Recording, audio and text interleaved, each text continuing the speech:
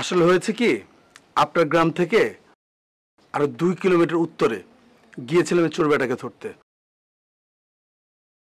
তোর বাপের যাইয়া ক আমি সব ব্যবস্থা করতেছি। হে যেন সিল্লা সিলেট একটু কম করে। আর কুসুমরে যাইয়া ক? কুসুমরে কি করল বেটা আপনি কয়ে লাগবো? না, আমি কইতাছি। কয়ে লাগবো না মানে? আন্দাজি তুই কি কইবি? তাই তো আমি আন্দাজি কি কমো? আচ্ছা বুঝলো ভাই তুমি কি আমার লগে পলান্তি খেলো?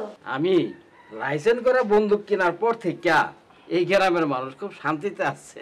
বুঝলো ভাই জিন্দেই তো আমি চোর দেখিনি তুমি আমার চোর দেখাইবা? আরে বা- ফজলু সাহেব এত ব্যস্ত হচ্ছেন কেন? আপনি বসেন বসেন বসেন। তোমার হাত মেশিন না হইলে তুমি কিন্তু পুতুলের লাহান। হইছে হইছে আর ফুলাই তো হইব না। হাতের বান্ধন একটু খুলে দেন একটু শরবতটা খাই। খুলে দে।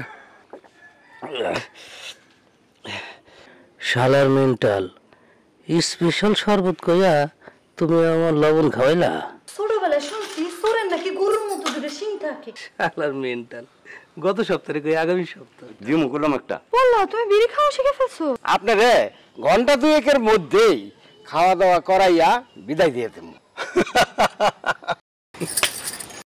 অনেক সুন্দর বন্দুক তো আপনার। জি জি একেবারে নতুন বন্ধু। আমার মনের খয়েস পূরণ কইরা চোরডারে যে চটকানা মারলাম ওইটা আমার সারা জীবন মনে থাকব না। এটা কি করে? কি করে? দরকার সাহেব। কি হইছে? দরকার সাহেব। বান।